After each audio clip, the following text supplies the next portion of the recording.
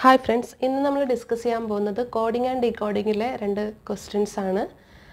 ഇതിൽ ബേസിക്സ് ഒക്കെ നമ്മൾ മറ്റൊരു വീഡിയോയിൽ പറഞ്ഞിട്ടുള്ളതാണ്. അപ്പോൾ ഈ ക്വസ്റ്റ്യൻസ് എങ്ങനെയാണ് സോൾവ് ചെയ്യുന്നതെന്ന് നോക്കാം. ഇതിൽ first question in a code sign D R L A L is coded as ഒരു നമ്പറാണ് തന്നിട്ടുള്ളത്. പിന്നെ ഹൗ ക്യാമൽ ഈസ് കോഡഡ് എന്നാണ് ചോദിച്ചിട്ടുള്ളത്. അപ്പോൾ D R L A L എന്നത് ഇത് സോൾവ് ചെയ്യുമ്പോൾ നമ്മൾ വെറുതെ ഇങ്ങനെ നോക്കി ചെയ്യുന്നതിനേക്കാളും നല്ലത് നമ്മൾക്ക് തന്നിട്ടുള്ള word D R L A L എന്നാണ് തന്നിട്ടുള്ളത്. അതിന് കോഡ് ചെയ്തിട്ടുള്ളത് എന്താണെന്ന് അതിന് നേരെ താഴെയായിട്ട് എടുത്തെഴുതുക. Six two zero one four three one four എന്നാണ് തന്നിട്ടുള്ളത്. സാധാരണ ഡയറക്റ്റ് കോഡിംഗ് ആണെങ്കിൽ ഇവിടെ ഓരോ ലെറ്ററിന്റെയും അതിന് കോഡ് ചെയ്തിട്ടുള്ള ആ, നമ്പർ അതിന് നേരെയായിട്ട് എഴുതുകയാണ് ചെയ്യുക. പക്ഷേ ഇവിടെ ഒന്ന് രണ്ട് മൂന്ന് നാല് അഞ്ച് ലെറ്റേഴ്സാണ് ഉള്ളത്.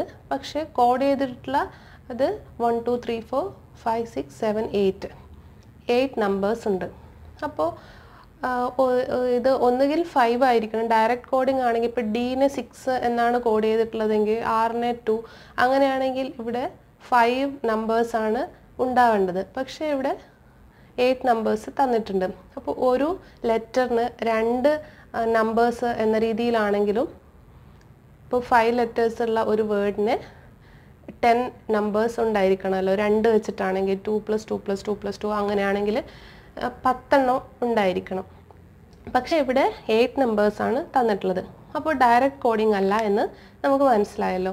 ഇനി നമ്മൾ നോക്കേണ്ടത് ഇതിന്റെ ആദ്യത്തെ വീഡിയോയിൽ തന്നെ പറഞ്ഞിട്ടുള്ളതാണ് കോഡിംഗ് ആൻഡ് റെക്കോർഡിങ്ങിൽ നമ്മൾ ഓരോ ലെറ്റേഴ്സിന്റെയും പൊസിഷണൽ വാല്യൂസ് പഠിച്ചിരിക്കണം എന്നത് നിർബന്ധമാണ്. അല്ലെങ്കിൽ നിങ്ങൾക്ക് സമയം വേസ്റ്റ് ചെയ്യണ്ട എന്നത് എന്നതുകൊണ്ടാണ് അങ്ങനെ പഠിക്കണം എന്ന് പറയുന്നത്. അല്ലെങ്കിൽ പെട്ടെന്ന് എ ബി സി ഡി ഇങ്ങനെ എഴുതി വെച്ചിട്ട് A B C D one two three four എന്ന് എഴുതി വെച്ചിട്ട് ഇങ്ങനെ സെഡ് വരെ എഴുതിയിട്ട് നോക്കിയാലും മതി. ഇപ്പോൾ ഡി ഫോർ ആണല്ലോ. അപ്പോൾ ഫോർ ആർ എന്ന് പറയുന്നത് എയ്റ്റീൻ ആണല്ലോ. പിന്നെ എൽ എന്ന് പറയുന്നത് ട്വൽവ് ആണ്.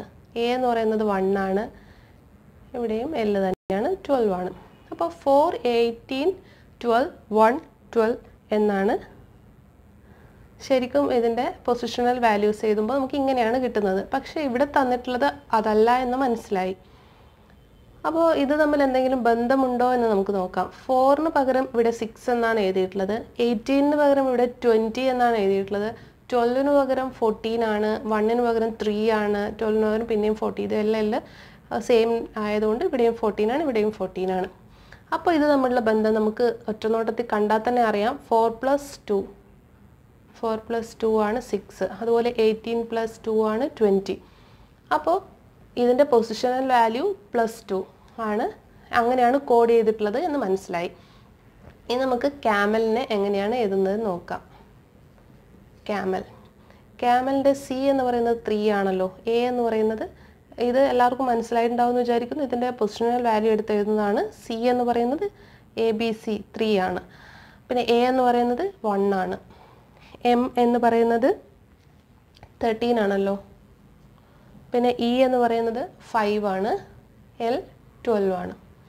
അപ്പോൾ നമുക്ക് ഇത് ഇതിന്റെ ശരിക്കും ഉള്ള വാല്യൂ ആണ്. അപ്പോൾ അതിന്റെ കൂടെ പ്ലസ് ടു ആണ് ആഡ് ചെയ്യേണ്ടത്. അപ്പോൾ ത്രീ പ്ലസ് ടു എന്ന് പറയുന്നത് ഫൈവ് ആണ്. Five one plus two three thirteen plus two fifteen five plus two seven twelve plus two fourteen അപ്പോൾ ക്യാമലിനെ കോഡ് ചെയ്യേണ്ടത് ഇങ്ങനെയാണ്. അപ്പോൾ ഇതിലെ ആൻസർ എന്ന് പറയുന്നത് five three one five seven one four A ആണ് ഫസ്റ്റ് ക്വസ്റ്റിന്റെ ആൻസർ ഇനി നമുക്ക് നെക്സ്റ്റ് ക്വസ്റ്റ്യൻ നോക്കാം. Calendar is coded as C L A N A E D R find the code for circular നമുക്ക് ഇത് ഫസ്റ്റ് ക്വസ്റ്റ്യൻ ആണ് second question നോക്കാം. C A L A N D E R അതിന് code ചെയ്തിട്ടുള്ളത് C L A N A D E R sorry E D R എന്നാണ്. E D R എന്നാണ്. നമുക്ക് കണ്ടുപിടിക്കേണ്ടത് സർക്കുലാർ ആണ്. C I R C U L A R circular ഇനി ഇതെങ്ങനെയാണ് ഇതിനെ കോഡ് ചെയ്തിട്ടുള്ളത് എന്ന് നോക്കാം. ഇവിടെ നോക്കുമ്പോൾ തന്നെ നമുക്കറിയാം. ഇത് ഡയറക്റ്റ് കോഡിംഗ് ഒന്നുമല്ല. കാരണം ഇവിടെ ഒരു എ ഉണ്ട്. അതിന്റെ താഴെയായിട്ട് എഴുതിയിട്ടുള്ളത് എൽ ആണ്. നെക്സ്റ്റ് വരുന്ന എന്റെ താഴെ എഴുതിയിട്ടുള്ളത് എൻ ആണ്. അപ്പോൾ ഇത് അങ്ങനെയാണെങ്കിൽ ഡയറക്റ്റ് കോഡിംഗ് ആണെങ്കിൽ എ എവിടെയൊക്കെ വരുന്നോ അവിടെയൊക്കെ സെയിം ലെറ്റർ തന്നെയാണ് വരേണ്ടത്. അപ്പോൾ ഇത് ഡയറക്റ്റ് കോഡിംഗ് അല്ല.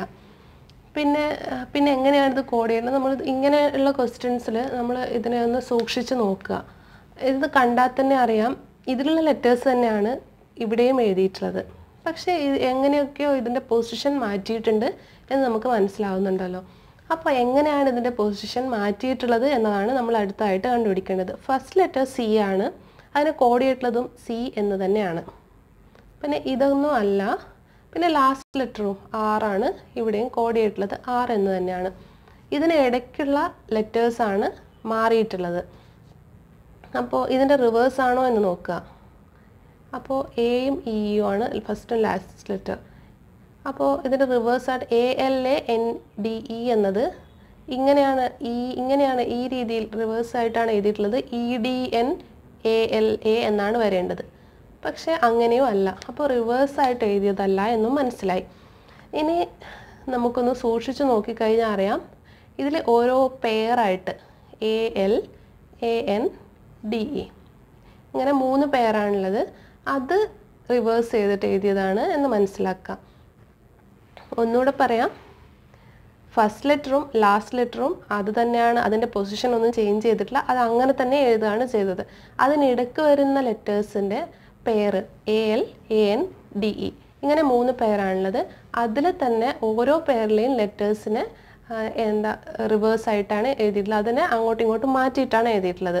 ഇപ്പോൾ രണ്ട് ലെറ്റേഴ്സ് ആയതുകൊണ്ട് എ എൽ ആണെങ്കിൽ എൽ എ എ എൻ ആണെങ്കിൽ എൻ എ പിന്നെ ഡി ഇ ആണെങ്കിൽ ഇ ഡി അങ്ങനെയാണല്ലോ എഴുതിയിട്ടുള്ളത്. ഇവിടെ എ എല്ലിന് എൽ എ എന്നാണ് എഴുതിയിട്ടുള്ളത്.